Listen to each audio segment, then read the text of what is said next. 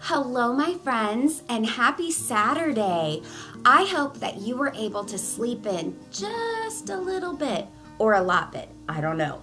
But for me, I wake up super, super early. So I just do that. It's not because I have anything really important to do first thing in the morning. It's just that's what time God wakes me up every day, really early in the day. So, whatever time you press play on the other side of this screen, please know that I am already thinking of you.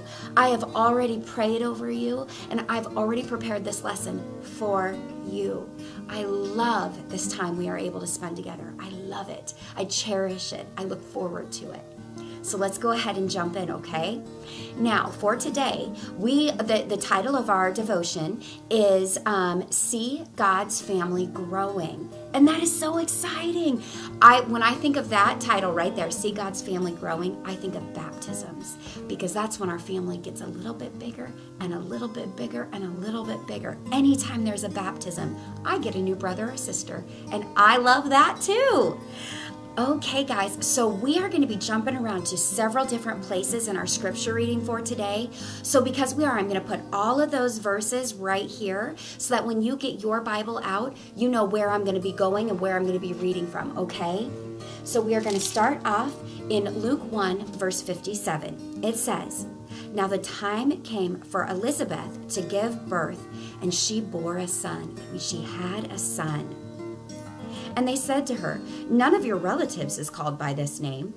And they made signs to his father, inquiring that what he wanted him to be called. And he asked for a writing tablet and wrote, His name is John. And they all wondered.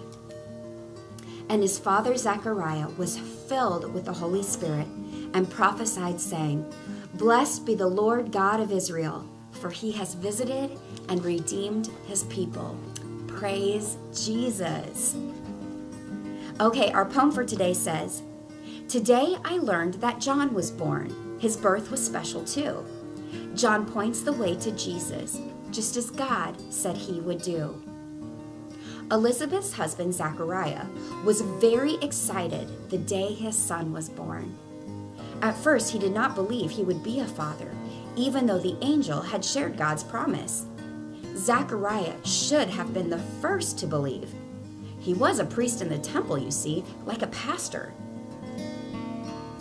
Because he doubted the promise, God had silenced Zachariah until his baby John was born.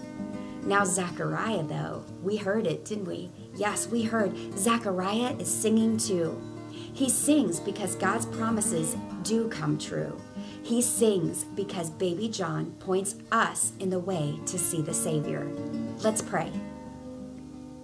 Lord, when John grew up, he led other people to Jesus.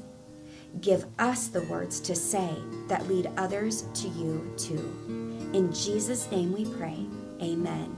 Amen. All right, guys, I'll see you tomorrow. Have a great Saturday.